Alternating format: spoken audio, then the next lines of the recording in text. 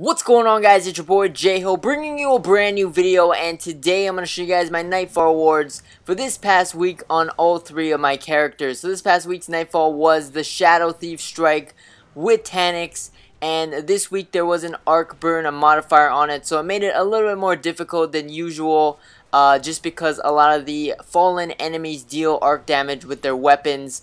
But still, if you got some good arc damage guns, you can take down Taniks pretty quickly. So, going into this week's rewards, it was pretty good. There was a lot of exotic drops this week for me and my teammates. So, pretty good week overall.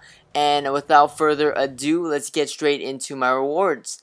So, starting off on my first character, on my Warlock, we picked up a Skull of Dire Ahamkara helmet my friend gets Khepri Sting, which is pretty cool. It's the new Hunter gauntlets that Xur sold one time already.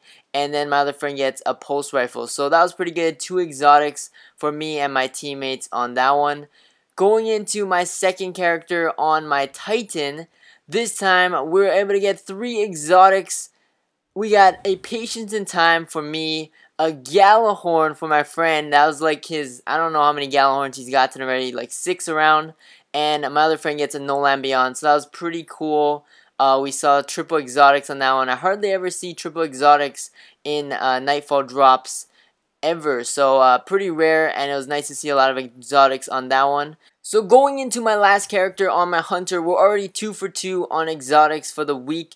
And this time we are able to get a Armamentarium chess piece, which is for the Titan, which is pretty interesting. And my other friend gets a Thunderlord. So I was able to get three exotics Three for three this week. Pretty rare for me. Hardly ever get three exotics in one week of Nightfalls.